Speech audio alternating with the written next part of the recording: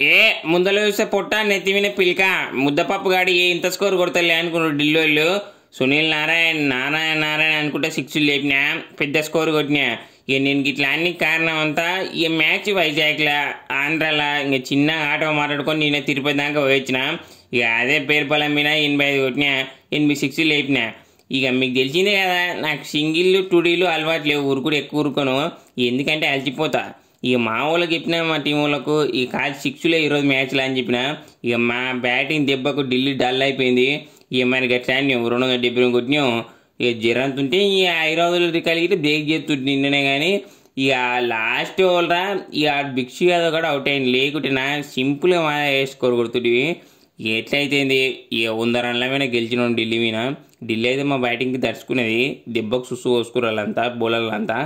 ఇక మాదే టీం లాస్ట్లో ఇంకా మేమే ఫైనల్ కోతాం ఇక ఈసారి అయితే కప్పు మాదే అనిపిస్తుంది పక్కా.